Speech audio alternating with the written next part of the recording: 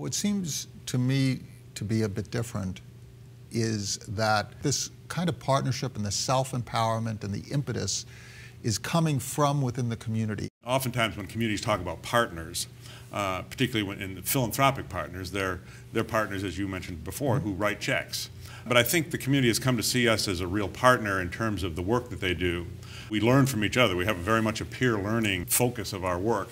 And so uh, uh, much of the capacity building work we do is really around uh, issues that are raised by a, a, variety of organizations, and we bring them together in a way that they can learn from each other. I think the key is, is starting with their goal and then bringing other folks in who can be helpful no matter what the issue is.